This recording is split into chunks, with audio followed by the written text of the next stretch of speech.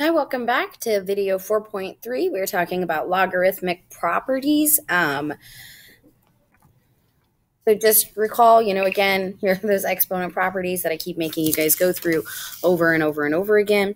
Um, but it's because I want you to know that having this in your head is what's going to be the difference between getting through this unit um, easily and not getting through this unit so easily. So just know that you have these in your head, that you're practicing these, that you're recalling these properties. You make flashcards, something. You find some way to recall these. Okay, so some properties of logs. Um, we're going to talk about three different properties our product property, our uh, quotient property, and our power property. We're also going to simplify, expand, and condense, which we're going to use those three properties to kind of go one way or the other. And we're going to learn about our change of base formula, which you will need a calculator for or some sort of online calculator. And again, those online calculators can be found on my website. Um, so don't just think that you're like thrown to the wolves on that. They are on my website, but you can always Google the phrase Mathway or Symbolab or Wolfram Alpha. I think that's also Mathway though, um, or or Desmos, and there's other online calculators out there too. Okay, so here's our product property quotient and our power property. So what does that look like? Product means multiplication. So this means that if I have a log um, that has a multiplication within the parameters, I can split that up and actually add them, or vice versa.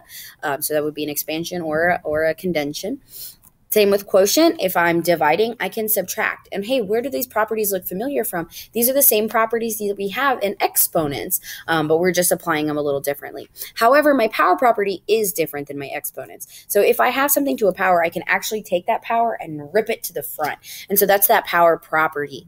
Um, but let's actually apply them. So here are some properties, and I want and for both of these problems, I'm going to express them in terms of ln of 2 and ln of 3, um, or at least for this question. So how would I do that? ln of 54 is the same as saying the ln of uh, 2 times 3 cubed. And how did I get that? Well, I just found factors um, that would get me down to 2 and 3. So what multiplied by 54, well, multiples of 54 would get me down to 2 and 3. Well, first I got down to 2, and then I found out that its multiple of um, 27, 2 times 27, sorry, its multiple of 27 could actually be broken down into 3 cubed. And how does that help me? Well, here's my product. That's the product right there. And here's a power rule. So I can actually strip it down first into my product rule of ln of 2 plus ln of 3 cubed. And now I'm going to deal with that power rule where I can rip it to the front. So that becomes ln of 2 plus 3 ln of 3. And that's it. That's all we were doing with this question. And that's all we're going to be doing for the next um, various few slides and pretty much this whole video is just using those three properties to just manipulate our, our logs. Okay, I've got one more for us, the ln of 9 over 8. And so again, what can I do to 9 to make it look like 3? Well, that's 3 squared. What about 8? That's 2 uh, cubed. 2 cubed is 8. So that becomes the ln of 3 squared over 2 cubed which is a quotient property right there, right? That's our quotient rule, which tells me I can subtract. So that's the ln of 3 squared minus the ln of 2 cubed.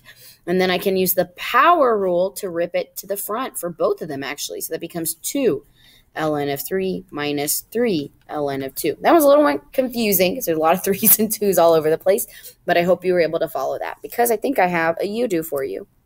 Here you go. Could you break this down into its log properties of 5 and 3? And I'll give you a hint.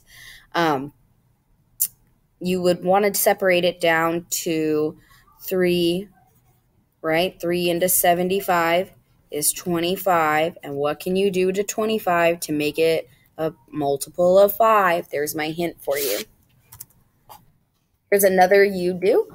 Um, this one's a little bit harder. And so this one, I would say, I know it's a you do, but I'm going to actually do it for uh, I'm going to give you the answer so you can you can double check. And I know I don't usually give answers, but here is that answer if you want to attempt this one to see if you get the same answer.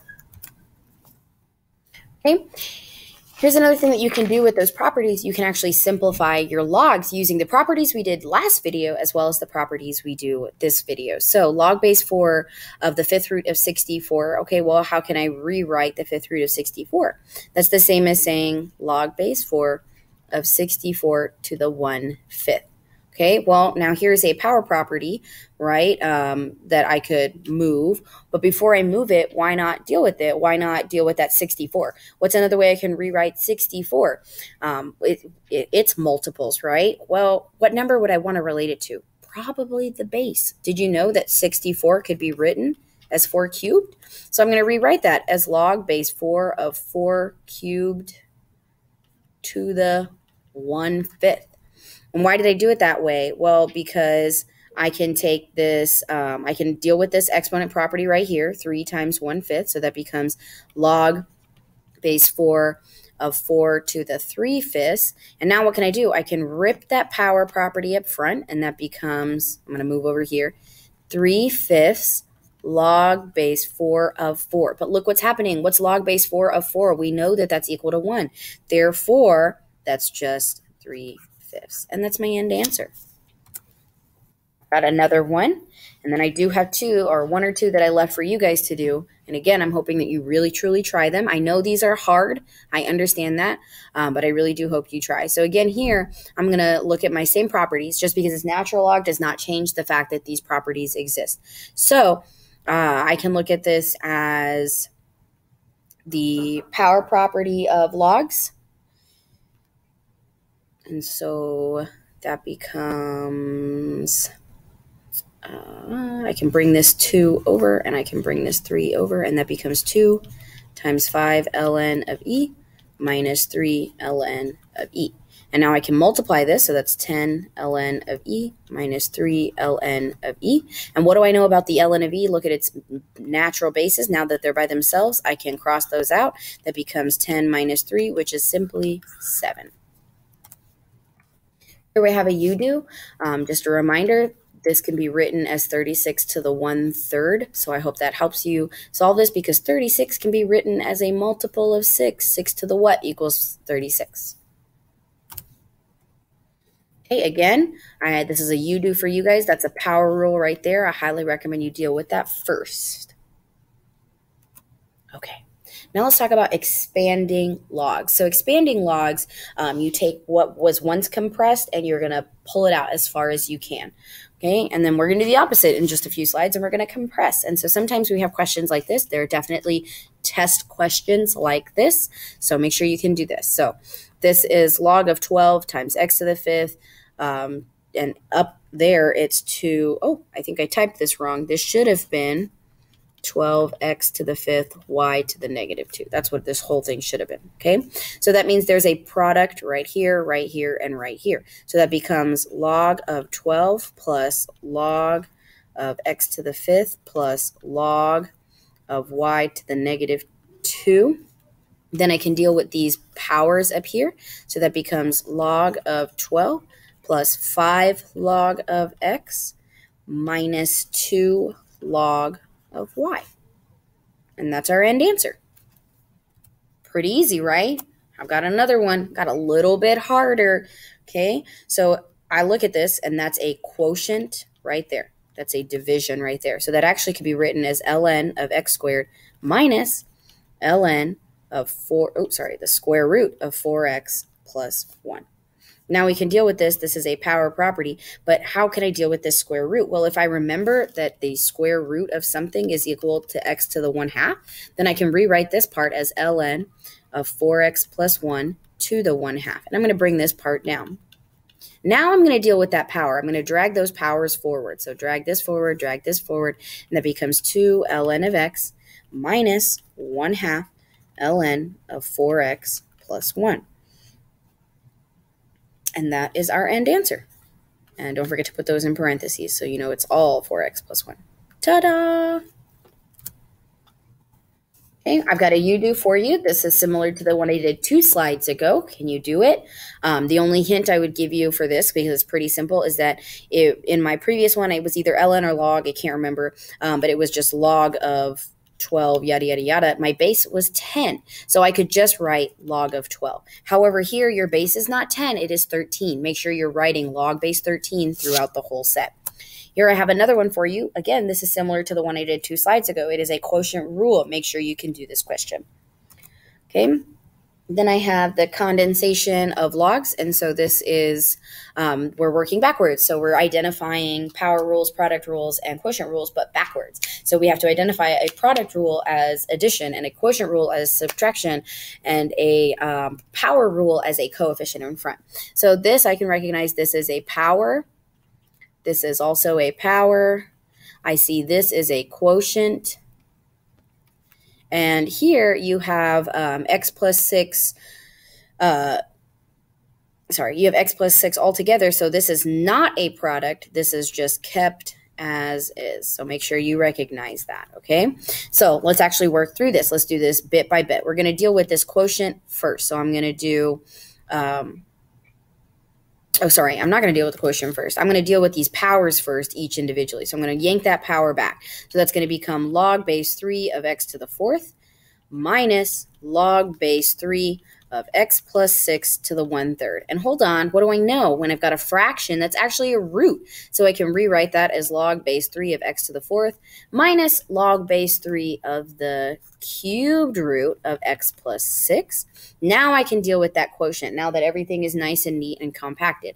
So that's actually going to be log base 3 of x to the 4th over the cubed root of x plus 6 and that is our end answer. Um, now, there could be a possibility to rationalize this denominator because we don't typically like roots in the denominator, but I'm not going to worry about that right now and today. And here I have another condensation or condense of the expression. So the first thing I'm going to deal with is this power and this power right here.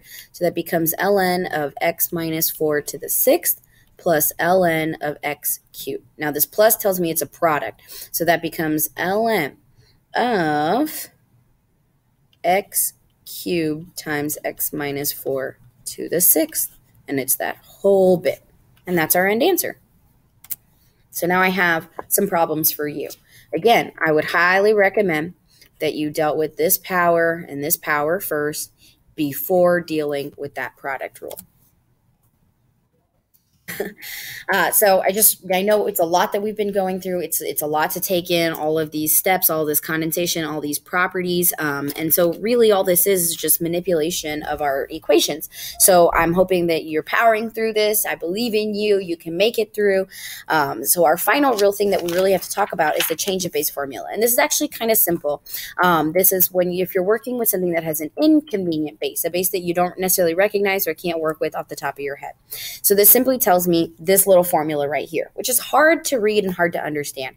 So the easier way to see it is if you actually do it. What this is basically telling me is I'm going to take the log of my, um, sorry, the log of my parameter, I guess would be the easiest way to say that, divided by the log of my base. That's the easiest way I could tell you that.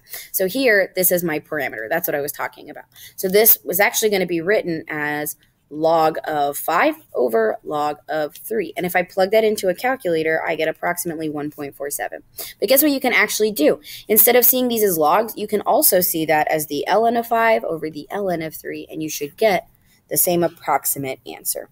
Okay, so here I've got one more for myself. So this is going to become the log of my parameter over the log of my base. I plug that into a calculator, and I got approximately negative 2.58. Now I have two for you. I hope you pause and do this, plug it into a calculator.